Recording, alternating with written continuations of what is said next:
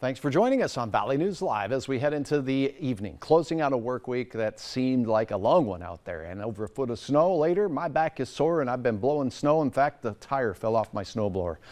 That's how many miles I put on it. Okay, another first alert weather day. That's Sunday into Monday for a storm system that's going to lollygag as it makes its way through, and that means enhanced snowfall potential. I want to make this full screen so we can give you the latest. And again, it is early. The models don't all agree on the track of the storm. They do agree on the timing. It begins Sunday morning in our western counties and it will work its way through and last most of Monday. Now, the lowest risk for uh, four to eight inches of snow. That's what you're looking at. It's in the dark blue here. So north of Highway 200. Once again, that seems to be the demarcation line.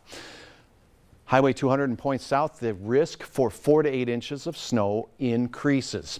Heavier bands and a prolonged storm system with slow motion means that we could have some enhanced snow totals. Traveling south, traveling southeast, traveling west, all impacted. Things get a little better as we go to the north. Here's the latest on that track and timing. Snow begins in our southern and western counties, down here by Ellendale, Oakes, and LaMoure as we go into Sunday morning. It will have already been snowing since Saturday night in the western Dakotas, where the snow has been very frequent this season. All right, as we head into the midday hour, you're going to want to be where you're going to be in the Southern Valley because the snow will really spread and look at the wind. The yellow arrows gusts over 30, maybe even over 40 miles per hour. Where you see the dark blues and the purples, those are heavier, more intense bands of snow. Where they set up is too early to tell, but where they set up, we're going to have those enhanced snowfall totals working their way through. Notice it sets up along Highway 200 Sunday evening.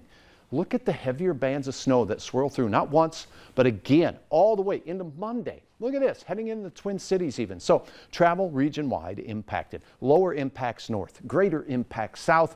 That's the story. Now let's talk about this. We have much better weather to enjoy until then.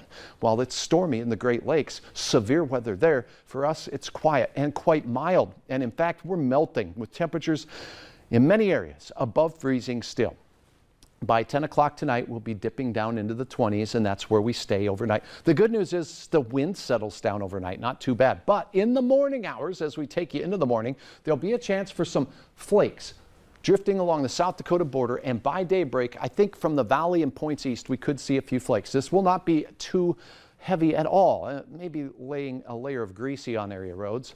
Your temperatures in most locations in the teens to near 20. And that's how we kick off your weekend. Clouds and a few flakes. After that, it gets really nice. Not quite as warm as today, but we'll see some sun spreading in from the west. We're also going to see quiet winds, which makes the day very pleasant. Temperatures near 30 or near the melting point, so we'll have a chance with the sunshine on roads to continue to take care of some of that fresh fallen snow. And we'll be closer to 35 to 40 in central Minnesota thanks to the pine tree effect. Mid teens to start your day in Fargo. Uh, mix of sun and clouds early becomes more sunshine late. Wind, not too much of a problem at all. Enjoy your Saturday. Be where you want to be by Sunday, midday in the Southern Valley. And in the afternoon, we could have travel impacts all the way through your Monday. First alert weather days both days. So, um, it looks like we get cold again on Tuesday, three below zero, 20s for highs. That's way below average for this time of the year.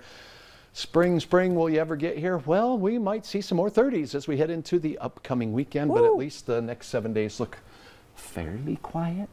Let's just cancel Monday right now and call it a three-day weekend. Can we do that? Yeah. I'll check with I think command. we have the authority. Who do we need? We need to call like the schools and jobs. Somehow I feel that isn't going to work yeah. out well for me. well, work on it, okay, okay. Coming up, how you can act now to lower your risk of colon cancer. Be like a holiday.